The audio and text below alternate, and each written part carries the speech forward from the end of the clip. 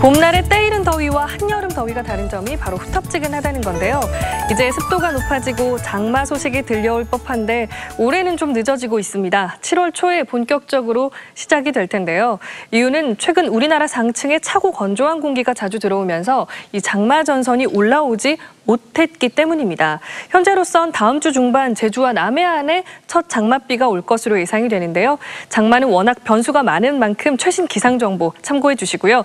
내일 날씨는 오늘보다 덥습니다. 30도 안팎의 더위 예상되는데 아침 저녁으로는 가벼운 겉옷 하나 챙기셔야겠습니다. 또 중부 서해안으로는 새벽 한때 빗방울이 떨어지겠고요. 내륙을 중심으로 아침에 짙은 안개가 예상되는 만큼 교통안전 각별히 신경 쓰셔야겠습니다.